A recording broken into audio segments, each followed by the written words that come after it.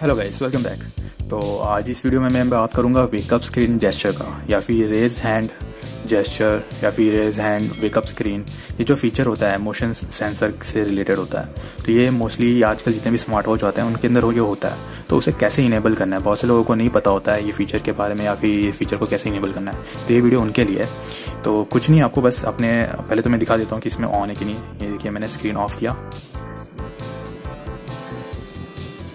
कुछ नहीं हो रहा। अब इसको ओपन करने के लिए मुझे बार बार ही ना बटन दबाने पड़ते हैं, लेकिन ये मुझे नहीं करना है। तो क्या करना है? बस आपको सीधे सेटिंग में जाना है।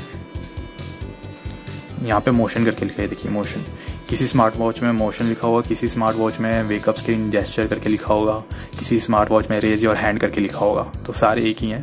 फिर आपको इस पर क्या क्लिक करना है? उसके बाद देखिए वेकअप जेस्चर ऑफ़ है। आपको दिख रहा है कि नहीं? वेकअप जेस्चर ऑफ़ तो इसको ऑन करना है।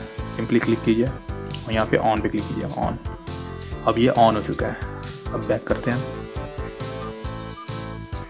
अब देखते हैं ये वर्क करता है कि नहीं। देखिए, हो गया। अब जैसे ही मैं अपने हाथ को घुमाऊँगा या फिर रेस करूँगा तो ये स्क्रीन जेस्टर जो भी है स्क्रीन को ऑन कर दिया करेगा। तो मुझे बार बार बटन्स दबाने की ज़रूरत नहीं मतलब मुझे ऐसे बार बार बटन्स जैसे स्क्रीन पे टाइम देखना है तो आपको बस हाथ ऐसे अपने रेस करने हैं और ऐसे करना है तो आपको टाइम इन्फॉर्मेशन बैटरी कितनी है, सब कुछ ऐसे दिख जाया करेगा। बहुत ही कन्वीनियंट आइडिया ये बहुत ही कन्वीनियंट फीचर है तो आप भी यूज़ कीजिए इसे। तो मिलते हैं नेक्स्ट वीडियो में तो तक के बाय बाय टेक केयर